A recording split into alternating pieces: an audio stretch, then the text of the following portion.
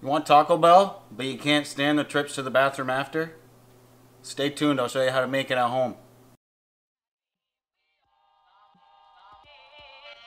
Alright. Today, we're gonna make some Crunchwrap brisket Dorito Supreme. Nah, that's too long. We're, we're making our version of Taco Bell with Doritos brisket and homemade tortillas. If that doesn't get you interested, I don't know what does. Anyway, if you guys didn't catch our last video, we made pulled pork tacos and we used this dough to make flour tortillas. So if you want to find out how to make this, we'll have the link in the description. Jump on over to that video and then catch us back here and we'll leave off where we left off. That did not sound right. But anyway, let's get to it. Like we did in our last video, we are going to get rid of this. Oh, sorry, Josh. and we're going to work it with our hands. This dough is real nice right now because it's been sitting the whole time we filmed that pork video. And once we start to get it to a nice shape that we like, we are going to, where did we put the rolling pin? This guy is starting to look muy bueno, and I'm really liking this dough, so I'm not actually going to use too much flour. We're almost looking good. At this point, with a little bit of movie magic, whether I'm done or not in the next two seconds, we'll be over at the stove. All right, back over at the stove. If you remember last time, we heat this sucker up first before we put the oil in. So, we're gonna get it up to temperature. A bit more. Get a bit of oil in there. We really want to work that around. Now the one mistake I made on video with the pulled pork tacos, put a little too much oil. You'll notice that the edges browned up a little bit too much. You want just enough so it doesn't stick. And really, just enough to coat. And so that if you were to flip the pan upside down, you don't actually immediately lose any. It's all stuck.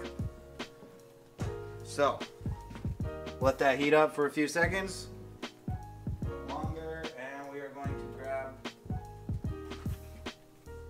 Our tortilla. Get it in there, just like so. And remember, just like last time, away from you. And now that she's in there, you actually turn it up a little bit more. It may take a bit, but you'll start to notice a few bubbles. Don't know if you can hear that, but you can actually kind of hear it sizzle.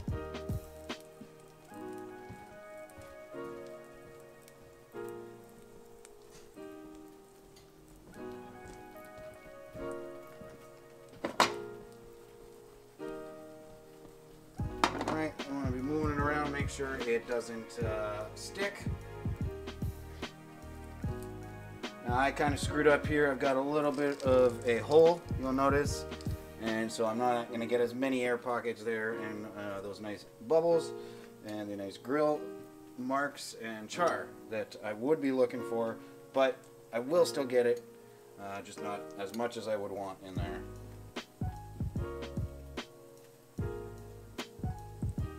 So you can see as I kind of tap over here, you can see that's all air under there. You can get, see it jiggle. So in just a moment, I'm going to flip this guy over.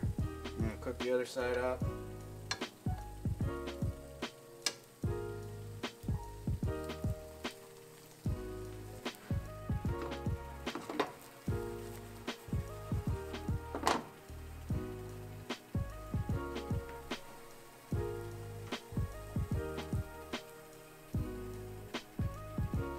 Only downside with some of these pans, other than like a flat top per se, which I could have used was right here, which I normally would have, but um, it's just some of the heat can be very, uh, very centered.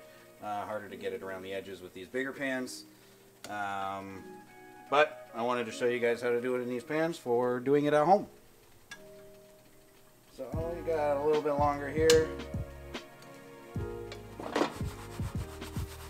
Keep her moving. Give her a, a rotate.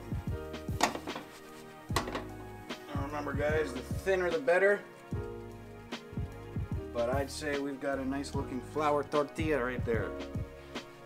So we're gonna head back over and turn this guy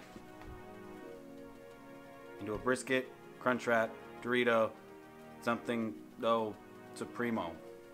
Okay? We'll see you over there. All right. Tortilla, cheese, salsa, so creme, and a brisket.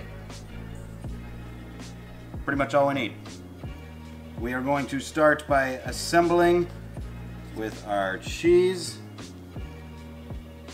on half. And I already lied because that is not all we need because I forgot about the Doritos.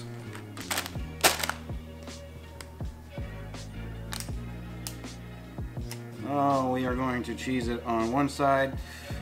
You could cheese all here as well, but when we fold it over, it's just gonna become a mess. I, I like to build it up. We're going to go here, bit of salsa, bit of sour cream, then we're gonna go brisket, and then a bit of salsa, a bit of sour cream, and a bit of cheese on top. And then we're gonna fold it over on top because then we don't need to throw the cheese everywhere. It just doesn't make a mess. That's just my way of doing it. Again, forgot the Doritos, they're gonna go right in the middle. Right in there for that good crunchiness. So, we got our cheese. We go a bit of salsa here. This is just a, uh, uh, a comfort food, so you don't need to go too crazy on the, you know, oh, we gotta be perfect, we gotta be perfect. No, if everyone was having to be perfect with the meals they were cooking, less people would be cooking. So, get a bit of this everywhere. And start the shell. Get some brisket in there.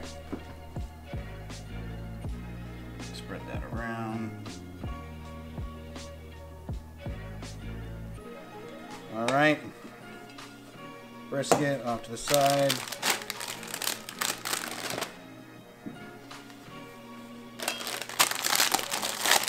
Doritos. You can put as many or as little as you want to. I like lots. Come on, be, there we go.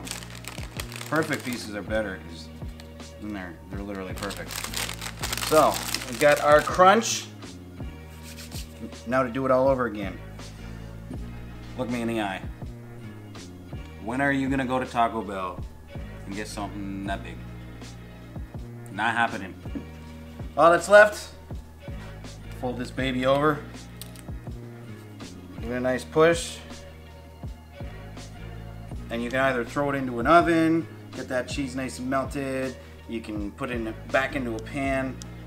Today, we're gonna use panini press. Let it sit in there for probably a good 45 seconds to a minute and a half. Um, and then we're gonna pull it out and give it a taste. See you in a sec. So we've got it off the panini press. Now all we got to do, I'm not even gonna lie, I completely forgot the lettuce before it went on the panini press. I'm a, a noob at this whole YouTube thing, so it's kind of got me off guard. But I love lettuce. And then we are going to give this a cut in half. And there's our Crunchwrap, brisket, Dorito, every other word that I can think of that rhymes with Dorito. Uh, that's terrible. But anyway, that's my take on the crunch wrap. It's got crunch, it's got wrap. I'm not wrong, I know that. So, anyway. Try it out yourselves, make it at home, give it a taste, let me know what you think. If you like this video, do me a favor. Hit the like and subscribe down below. And if you want to see more, come on back. If you got any ideas, let me know in the comments below. See you next time. Peace.